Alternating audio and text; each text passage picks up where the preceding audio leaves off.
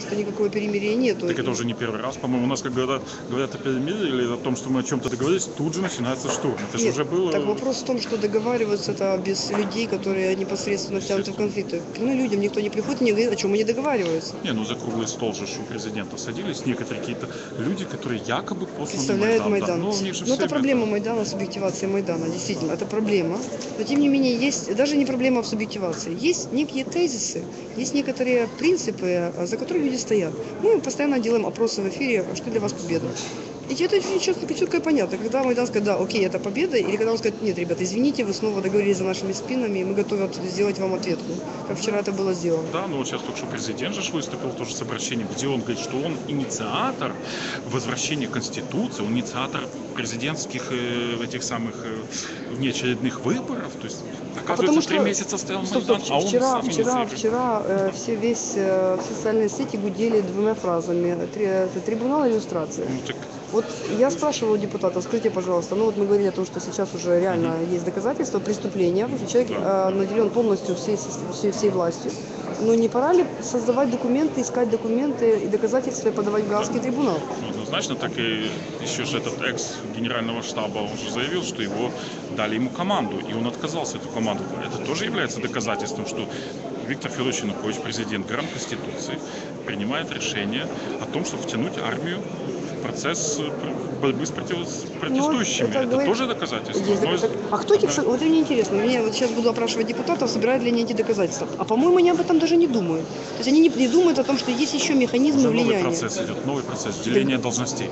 Поэтому у них другая мысль сейчас Я в голове. поняла. Вот Спасибо это за же, да. комментарий. Да, вот так вот мы пообщались. Меня тоже впечатление складывается, что здесь э, в Раде неадекватно воспринимают то, что происходит. Ну, лично, действительно, спрашивав нескольких депутатов, пообщавшись, пообщавшись с журналистами, я понимаю, что надо возвращаться на Майдан, потому что ну, там пока не понимаю, что происходит в стране. А здесь э, такое впечатление, что люди настолько оторваны от людей, настолько не понимают, что происходит, настолько не, не то, что не контролируют ситуацию, не понимают, к чему это может привести. Снова вот договоренности э, такого типа, да, а а потом каким образом, мне же интересно, как это будет доноситься дальше. Надо- Неужели оппозиция думает, что выйдя на сцену Майдана, а, сказав этих пару фраз, можно успокоить народ? Ну, очень мне интересно некоторые вопросы узнать. Во-первых, каким образом будет формироваться тот же, ну, то же правительство.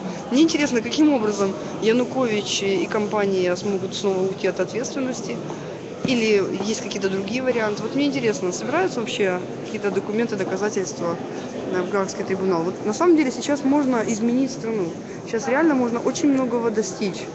А, Люди погибли за свободу, люди погибли за свои права. И что мы видим сейчас?